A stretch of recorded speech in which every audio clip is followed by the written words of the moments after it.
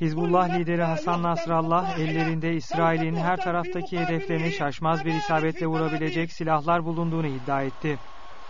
Video bağlantısı aracılığıyla konuşan Nasrallah, İsrail'in Lübnan'a yeni bir saldırı girişiminde bulunması halinde Hizbullah'ın Beyrut'ta havaya uçurulan her bir ev için İsrail'deki bir hedefi yok edeceğini belirtti.